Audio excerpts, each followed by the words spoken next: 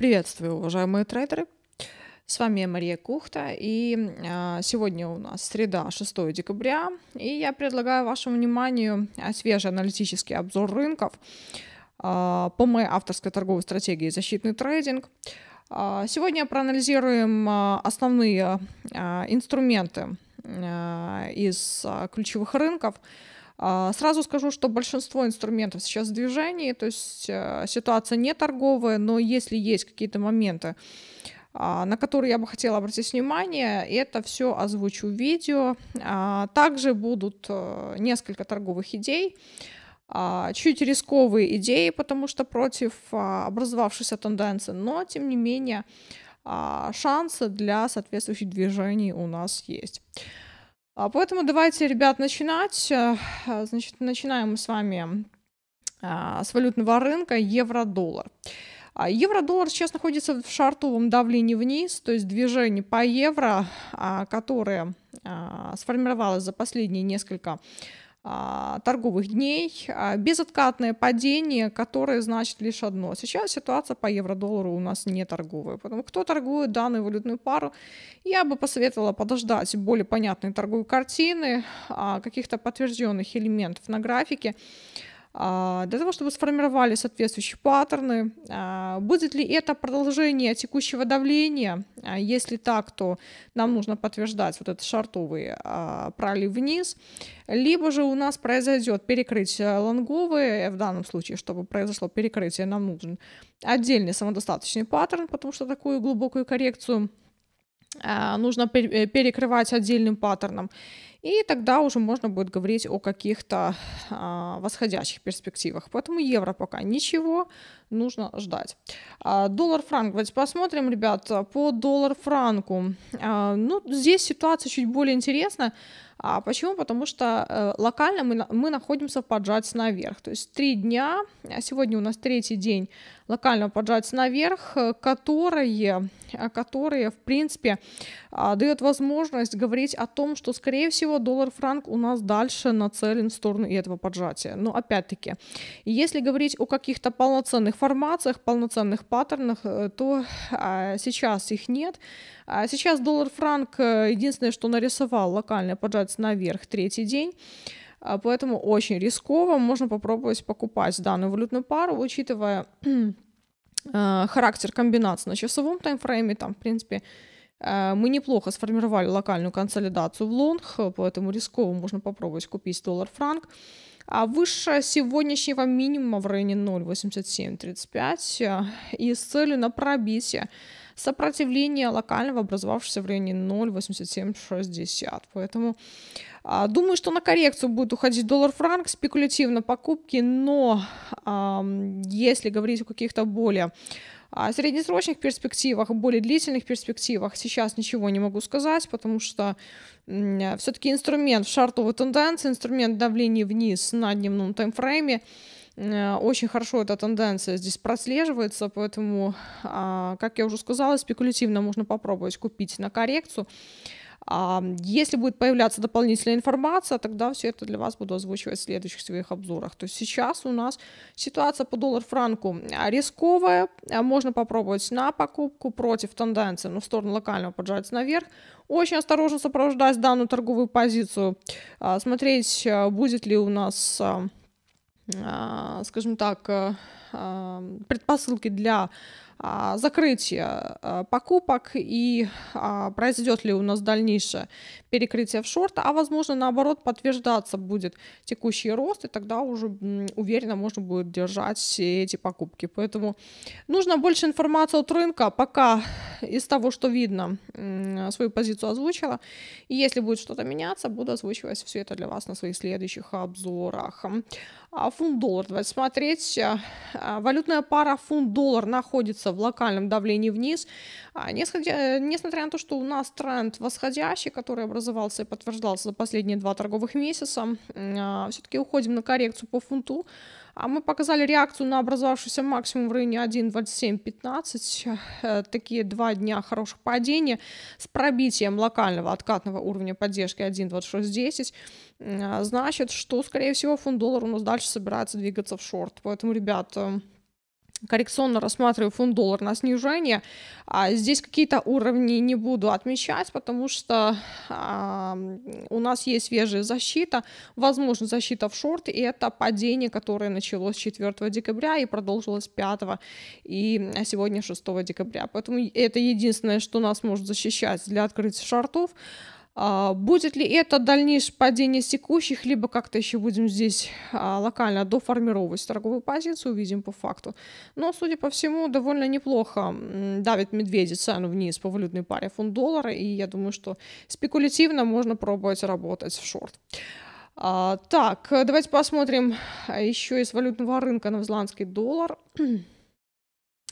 А валютная пара NZD-USD э, показывает внутреннюю дневку в рамках предыдущего падения. А, в принципе, в принципе, если говорить о каких-то а, хороших формациях, точно так же, как и по другим рынкам, им их нет, ребят.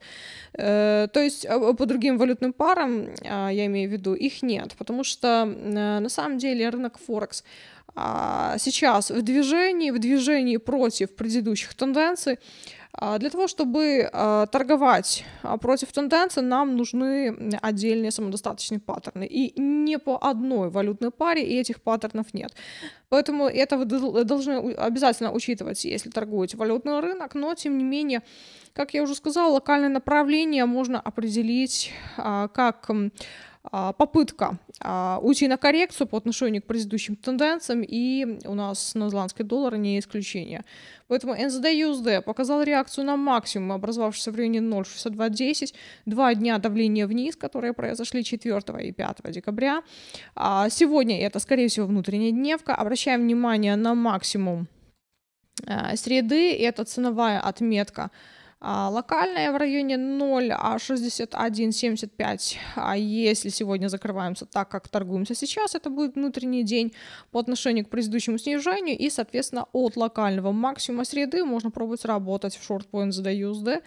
А, то есть вот сопротивление 0,6175 с целью на пробитие поддержки 0,61 25 а, и ниже. А, ситуация, скажем так, очень а, скользкая, потому что а, все-таки тренд, но локальные предпосылки, локальные шансы для снижения здесь присутствуют. По крайней мере, спекулятивного коррекционного снижения, да, можно, в принципе, э, увидеть локальные моменты, которые подтверждают и эту картину. То же самое по австралийскому доллару. Смотрите, австралиец у нас два дня падения импульсное падение 4-5 декабря. А, и сегодняшний день это, скорее всего, внутренняя дневка. То же самое, как и по новозеландцу. Действуем, значит, максимум среды а, откатный уровень, от которого можно пробовать работать в шорт по австралийскому доллару. От сопротивления 0,66 а, можно пробовать шортить out с целью на пробитие образовавшихся минимумов локальных в районе 0,6550. Австралиец у нас от последней консолидации, от последней консолидации, вместо того, чтобы показать реакцию наверх, наоборот, мы показали такое импульсное снижение, пробили откатный уровень поддержки 0,66, закрепились зеркально ниже и сегодня оттестировали зеркально эту ценовую отметку, что, в принципе, подтверждает возможность работы в шорт а, по данной валютной паре. Поэтому очень осторожно, против тренда, спекулятивно можно попробовать шортить австралийский доллар. А какая перспектива для падения, пока озвучивать не буду, потому что нет информации для того, чтобы озвучить какие-то, а, скажем так, даже краткосрочные перспективы, потому что в любой момент ситуация может поменяться лонговым перекрытием и, соответственно, дальнейшим движением в сторону восходящей тенденции. Поэтому, как я уже сказала, осторожно работаем в шорт. Э, если будет что-то меняться, либо же наоборот, а если у нас ситуация будет подтверждаться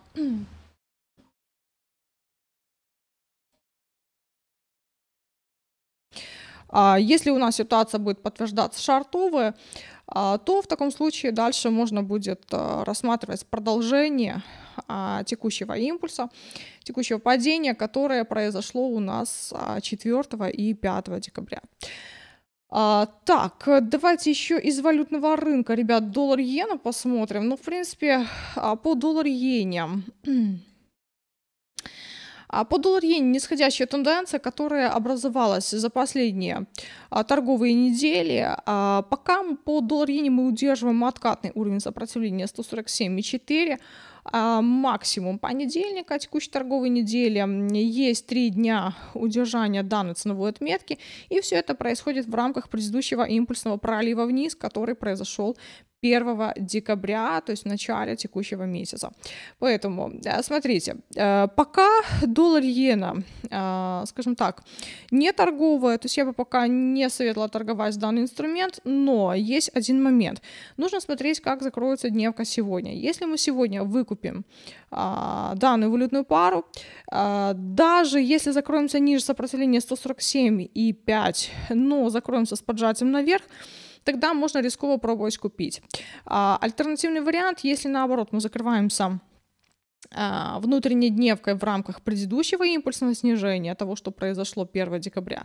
В таком случае мы дальше будем подтверждать продажи и, скорее всего, двигаться в шорт по доллар иене. Поэтому ключевым моментом на текущий на данный момент э, у нас выступает э, закрытие сегодняшней дневки. И, как я уже сказала, смотрим, как закроется день.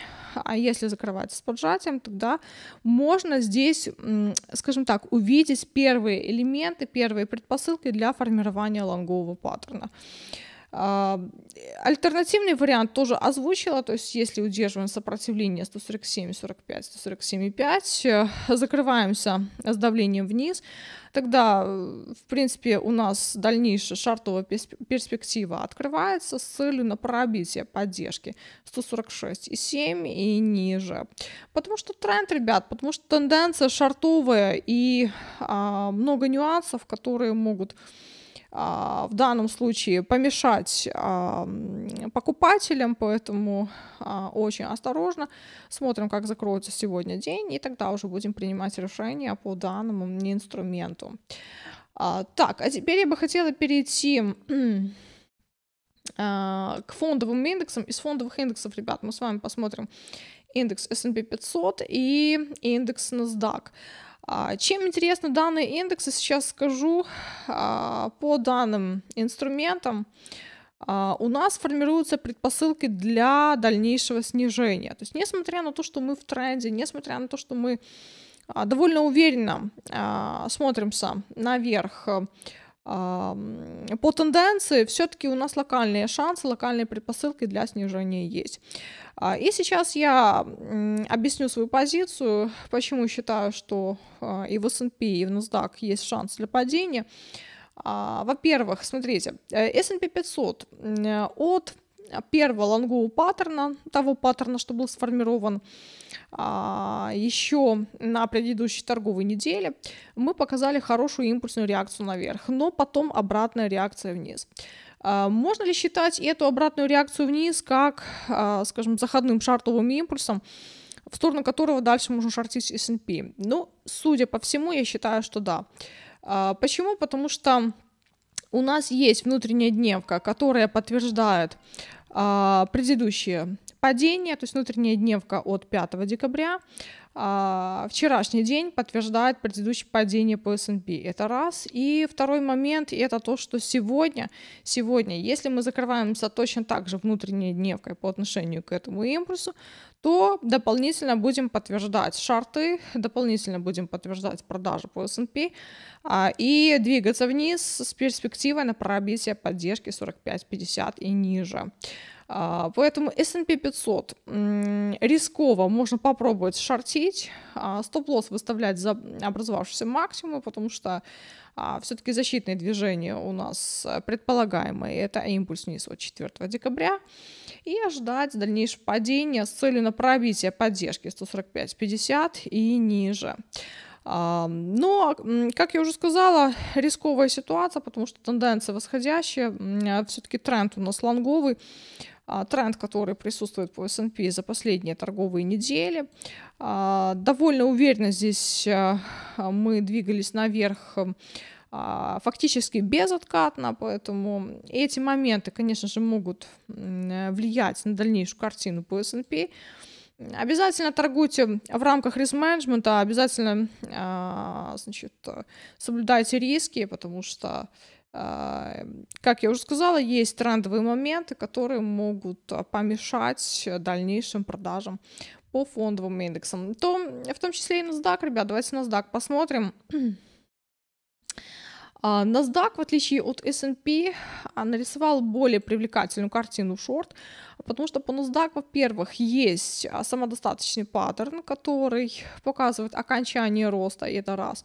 И есть еще один импульс вниз, который у нас произошел 4 декабря, и это отдельные шартовые движения, которые а, подтверждают, что, что сейчас а сейчас NASDAQ находится в давлении вниз на дневном таймфрейме, и, судя по всему, и это давление вниз у нас продолжится. Две внутренние дневки. Вчерашний день 5 декабря и сегодня 6 декабря. И это две консолидационные внутренние дневки, которые подтверждают э, падение от 4 декабря. А, это значит, что, судя по всему, NASDAQ у нас продолжит э, снижаться, по крайней мере, коррекционно. А, поэтому по NASDAQ рассматриваю продажи ниже сегодняшнего максимума 15 975 с целью на пробитие образовавшихся минимумов и ниже. А, конечно же, точно так же, как и по S&P, у нас присутствует альтернативный вариант, то есть вы должны это учитывать, если торгуете фондовый индекс, потому что тоже у нас здесь а, довольно сильный тренд, а, довольно сильная восходящая тенденция. Я раньше, раньше все-таки рассматривала продолжение тенденции, здесь тоже от локальной консолидации, думала, что будем уходить наверх. Покупала NASDAQ, получила один стоп-лосс в закрытом канале. А, но, тем не менее, сейчас я считаю, что немножко картина у нас поменялась. Картина у нас показывает э, альтернативный сценарий, который дает возможность работать на снижение по фондовому индексу NASDAQ. Поэтому NASDAQ рисковые шарты ниже сегодняшнего максимума 15 975, 15 980 с целью на пробитие образовавшихся минимумов и ниже. А, самодостаточный паттерн шартовый, он, в принципе, позволяет а, увидеть ну, по крайней мере, коррекционное снижение по данному индексу, поэтому есть шансы, а, есть шансы для того, чтобы дальше а, двигаться в шорт а, и подтверждать, подтверждать импульс, который у нас произошел 4 декабря, то есть шартовые движения, которые сейчас для нас являются локальной защитой, то есть локальное защитное шартовое движение. А, так, фондовые индексы, в принципе, мы с вами посмотрели, торговые идеи по фондовым индексам вы получили. А, металлы сейчас не торговые, ничего не будем смотреть по металлам. А, нефть и газ, ребят, там тоже ничего интересного сегодня пропускаем. То есть нефть давление вниз, а, довольно а, такое сильное падение по нефти у нас а, случилось за последние несколько торговых дней, то есть там только пока шарты, но тоже шартить нельзя, потому что инструмент движения, то же самое можно сказать и по газу. А, крипту тоже смотреть не будем, потому что крипта очень хорошо себя отработала на покупку. Я еще ранее вам публично советовала покупать крипту, биткоин, эфир. И а, сейчас мы уже в движении, сейчас мы уже отрабатываем предыдущую формацию. То есть сейчас уже криптовалютный рынок не торговый. А в закрытом канале я зафиксировала и биткоин, и эфир, потому что я покупала ранее по хорошим формациям. А, по а, своей стратегии защитный трейдинг, и соответствующая отработка у нас произошла. То есть сейчас по крипте вне рынка, и нужно ждать каких-то более понятных, более а, подтвержденных ситуаций. Ну что ж, ребята, у меня на сегодня все. Если вам понравился сегодняшний обзор, поставьте, пожалуйста, лайк. Не забывайте подписаться на мой YouTube канал Мария Кухта Трейдер, для того, чтобы всегда получать хороший аналитический контент с анализом основных финансовых инструментов.